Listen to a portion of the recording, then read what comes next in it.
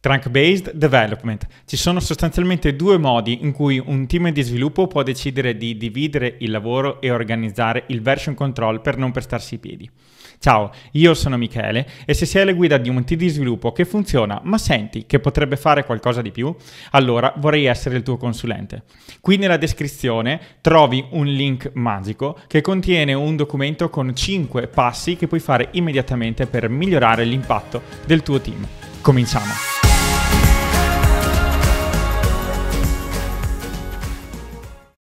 Ci sono sostanzialmente due modi con cui un team di sviluppo può decidere di lavorare insieme su un sorgente condiviso uh, per non pestarsi i piedi. Abbiamo la filosofia del feature branch e abbiamo la filosofia del trunk based.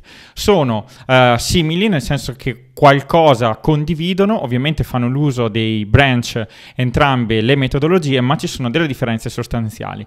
Con il feature branch, di solito che potrebbe essere anche uh, quello più diffuso, prevede che un... Um, uno sviluppatore, facciamo una linea principale, che, che, sia essa main, sia development o così via, in questo momento non ci importa, la nostra linea principale, il branch di lunga vita, eh, quando uno sviluppatore deve iniziare lo sviluppo di una feature, si apre ovviamente un branch chiamato un feature branch che ha una certa durata ed è proprio qui che andiamo a cominciare, eh, cominciamo a parlare di durata del feature branch.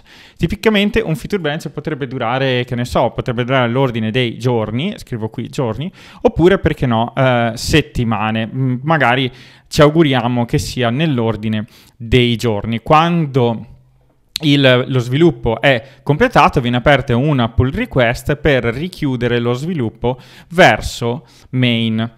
Uh, con Trunk Based più o meno facciamo lo stesso lavoro, però cosa succede? Uh, le tempistiche e le dimensioni sono diverse. Innanzitutto prevede che il, um, il, singolo developer e in, in generale comunque il team divida il lavoro in feature generalmente parlando più piccole, in funzionalità più piccole, in maniera tale l'obiettivo è quello di avere dei branch certo svil- dedicati allo sviluppo di una particolare funzionalità o sottofunzionalità che possa durare anche qualche ora o al massimo uno o due giorni, sono veramente molto più corti dei feature branch. Questo perché lo scopo eh, di questo, di, del trunk based è quello di chiudere eh, in master o in main, master ormai termine obsoleto, chiudere in main il più frequentemente possibile.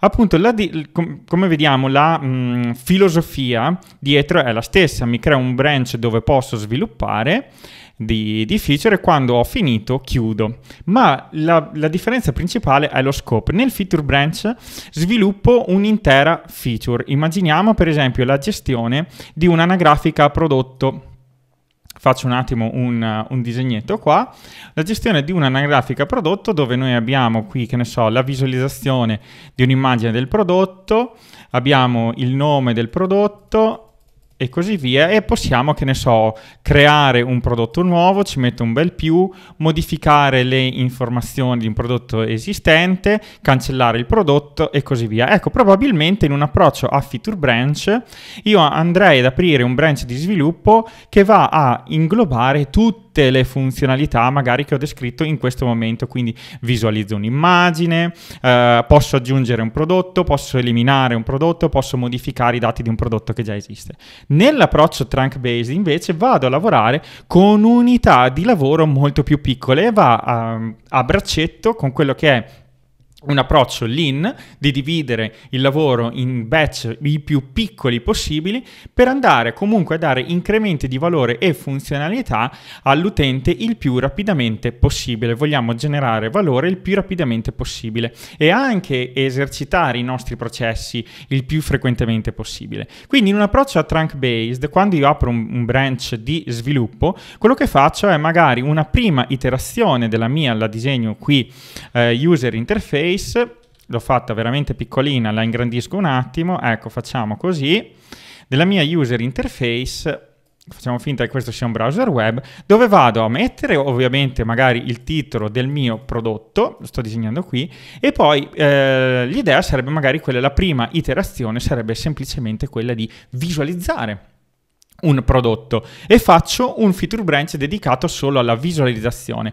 Poi farò un feature branch successivo dedicato, che ne so, alla cancellazione del prodotto e allora metterò un bel pulsante con, che ne so, un'icona del cestino e implementerò le funzionalità di backend necessarie alla cancellazione del prodotto. Un'iterazione successiva potrebbe essere quella di visualizzare un'immagine del prodotto e così via. Adesso qui ho dato ovviamente delle priorità mie arbitrarie per fare un esempio, ma in un approccio eh, veramente agile, queste dovrebbero essere concordate dal product owner, quello che è, product manager, chiamiamolo un po' come vogliamo, sostanzialmente il referente del prodotto, del progetto, insieme con il cliente che ha chiare o che insieme stabiliscono le priorità. Voglio prima questo, voglio prima quest'altro. E quindi ecco, questa è una, la, la principale differenza, si parla di scope molto più piccolo. Cosa dobbiamo fare per raggiungere trunk-based development? Beh, una prima pratica l'abbiamo già detta, quindi dobbiamo lavorare in batch più piccoli. La metto qui, batch in unità di lavoro, ok, più il più piccole possibile che ci diano un incremento di funzionalità utilizzabile anche di poco valore ma comunque funzionale.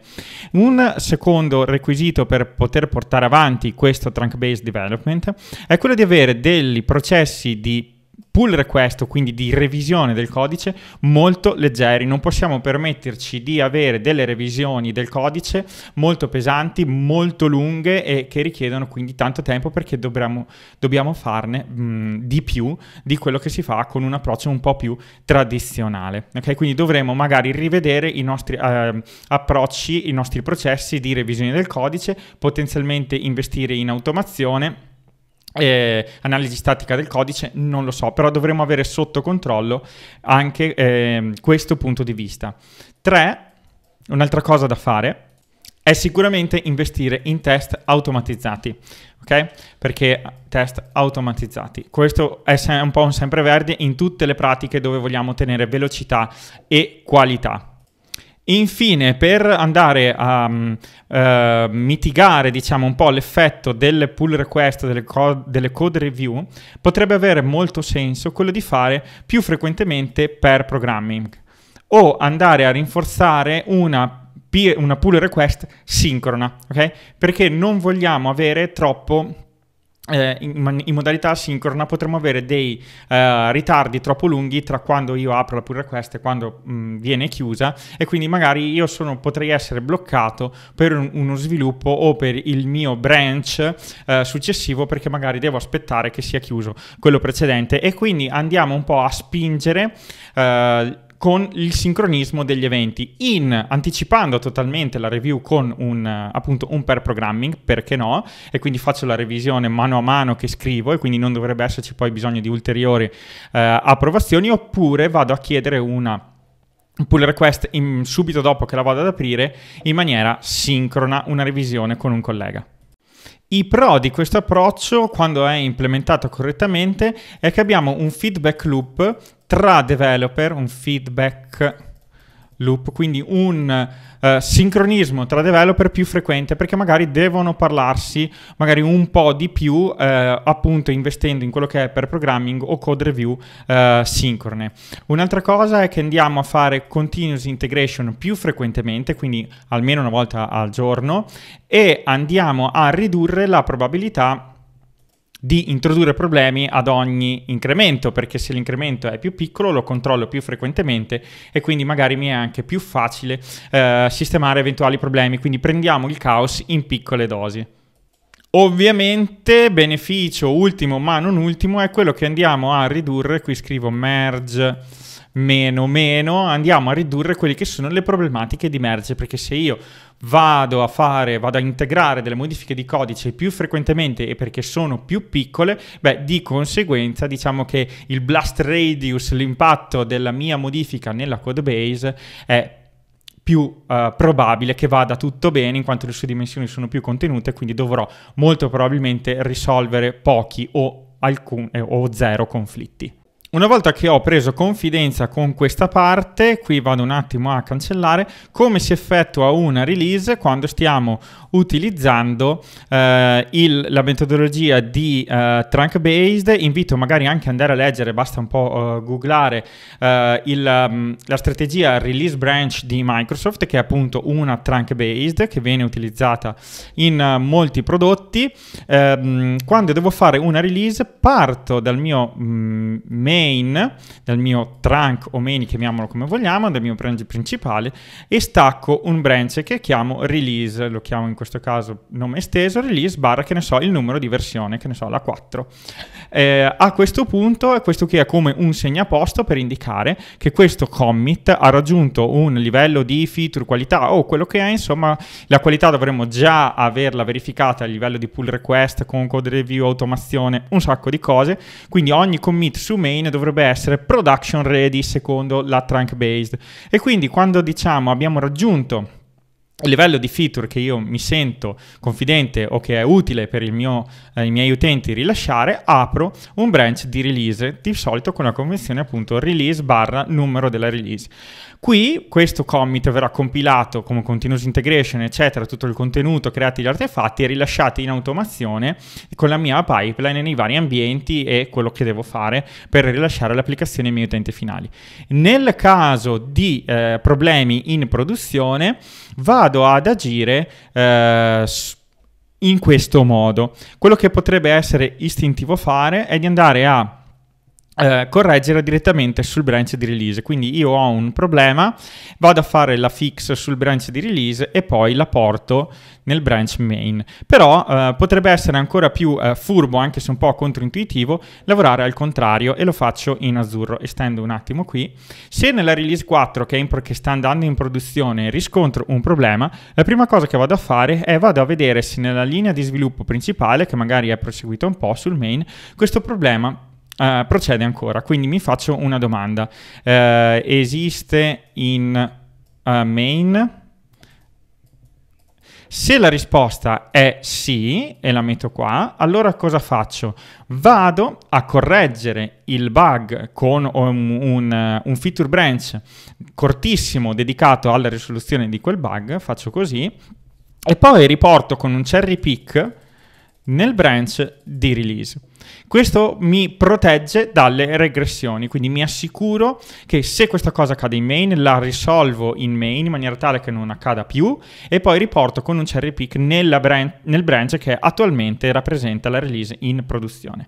Se invece la risposta dell'esiste in main questa cosa è, eh, la risposta è no, perché magari la code base è cambiata, è evoluta e quindi quel problema non sussiste più, allora vado a fare un commit diretto, un intervento diretto, potrebbe anche essere ovviamente con un feature branch dal, partendo da release, vado a fare qui un mini ciclo di sviluppo nel branch di release e chiudo il problema e rilascio quello che potrebbe essere eh, di, di nuovo nel branch release 4.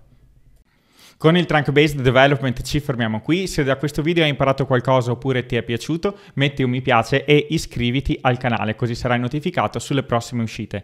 Questo è il mio indirizzo email a cui mi puoi contattare se vuoi una consulenza personalizzata o un progetto per il tuo team. Ciao!